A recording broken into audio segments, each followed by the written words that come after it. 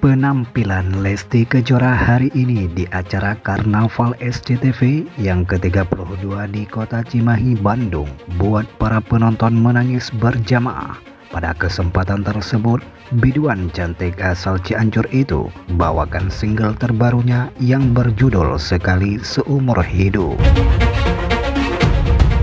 terpantau dari sorotan kamera. Banyak dari penonton yang ikut terbawa suasana saat menikmati kemerduan dan kesyahduan suara Lesti Kejora bawakan lagu tersebut, terutama dari kalangan perempuan yang menyaksikan acara itu.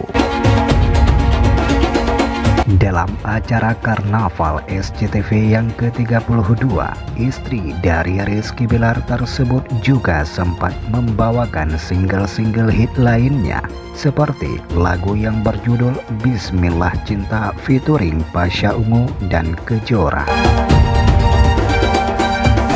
Meskipun sempat dijeda karena hujan deras, namun antusias penonton tak pernah surut dan semakin bersemangat untuk menyaksikan secara langsung Lesti Kejora perform di acara tersebut.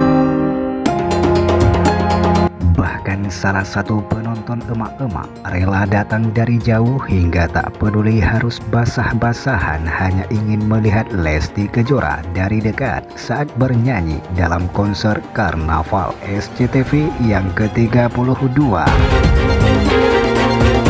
Di kesempatan yang sama, Lesti Kejora juga membawakan lagu berjudul Egois yang berduet dengan Pasha Ungu Teriakan demi teriakan di berbagai sudut panggung terdengar kencang dari penonton yang memanggil nama Lesti Kejora dengan sebutan Dede.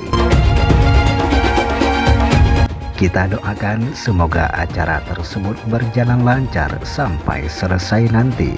Begitulah informasinya. Jangan lupa untuk terus mendukung channel ini dengan cara subscribe, like, share, and comment.